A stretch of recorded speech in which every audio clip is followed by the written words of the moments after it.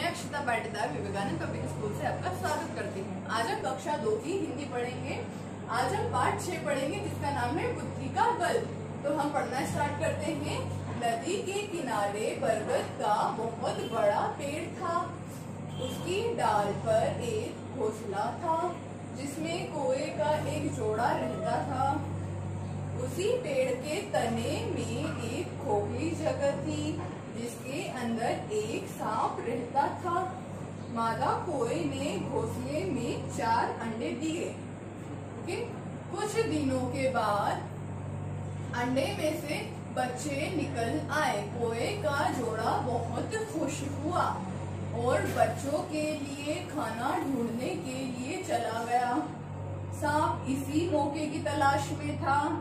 वह पेड़ के ऊपर चढ़ा और कुएँ के बच्चों को खा गया।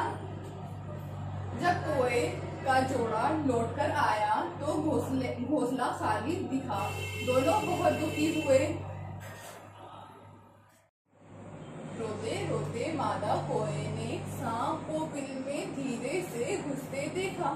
उसे समझ आ गया कि यह काम सांप का ही है।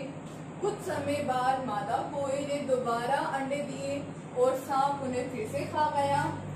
मादा कोए ने दुखी होकर नर कोए से कहा, हमें यह घोसला छोड़ देना चाहिए।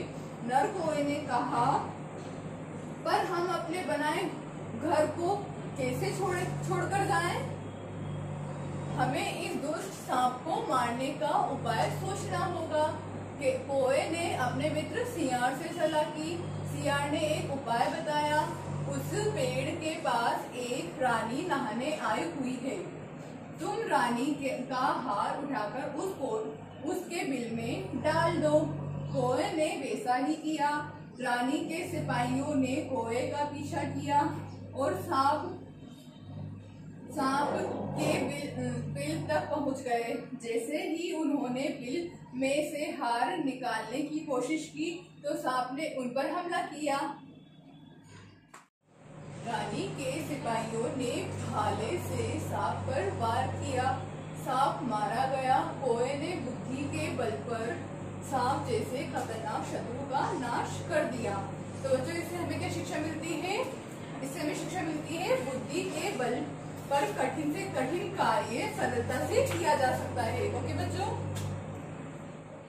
Please do like comment and subscribe our YouTube channel thank you